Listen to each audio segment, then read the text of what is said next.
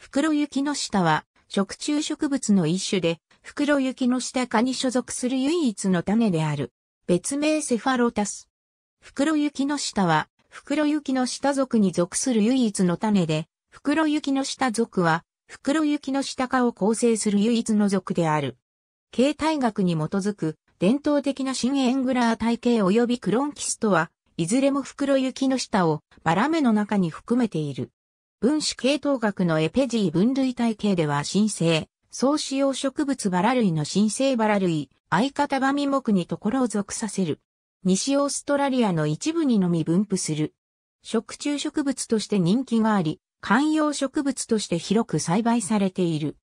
以前は、ワシントン条約付属書2に掲載されていたが、オーストラリア南西部の保護区に比較的豊富にあることや、簡単に栄養繁殖可能であることから、現在は掲載されていない。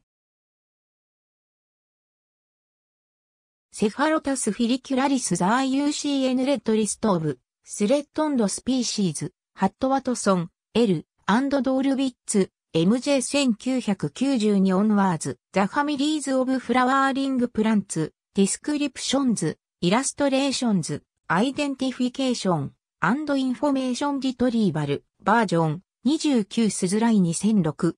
2012年8月17日閲覧。緑の相談所だより Q&A。公益財団法人京都市都市緑化協会。2020年2月27日閲覧。AB Conran、John G、Cephalotaceae The Families Genera、of Vascular Plants、Volume 6、Flowering Plants Dicotyledons、Celastrales、Oxalidales、Rosales、Cornales、Ericales、Springer P65 から69、ISBN 3から54006-5121。ありがとうございます。